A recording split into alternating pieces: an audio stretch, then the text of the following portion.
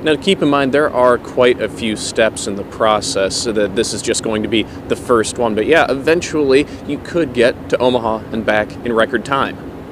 Senator Adam Morfeld's bill could kickstart the process of bringing high speed rail to Nebraska. Before we can seriously make any investments, we have to have a study in terms of the feasibility and then also the economic impact, the ridership, and then the location of where it would go. So, this is the first very important step to making this a reality. And this step would be a big investment of its own $500,000 to the DOT to conduct that study, but there are some big possibilities if it all works out. It's going to get people back and forth in a really um, fast way, of course, and and make it much more convenient for commuters and those looking to enjoy entertainment and the arts and maybe even see their grandkids, folks that can't drive anymore. This isn't the first time Senator Morfeld's introduced this idea, but there are a few factors boosting his confidence in this latest attempt. I think this is the right time and the right place for it, particularly with the federal funds, but then also our revenue situation and the fact that uh, people are looking for exciting new projects to grow Nebraska. America's been slow to adopt high speed rail, so it'll be interesting to see if Nebraska ends up a leader in that industry.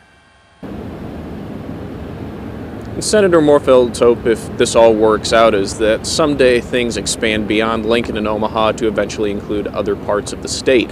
For now, the bill is in committee, but it'll be interesting to see what develops.